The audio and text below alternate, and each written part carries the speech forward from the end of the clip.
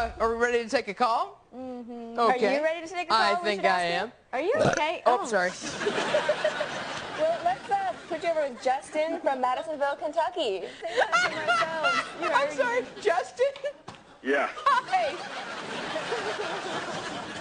what can I help you with? Anyway, uh, my question is about uh, spam on the internet. Um, from my, from my email, I mean. Hello? I can hear you. I'm sorry. Way too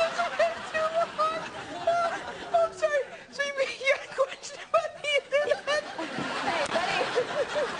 I can't do this. Take this Give him a slap. Come on, buddy. Shake him, shake him. I think he's finally lost it.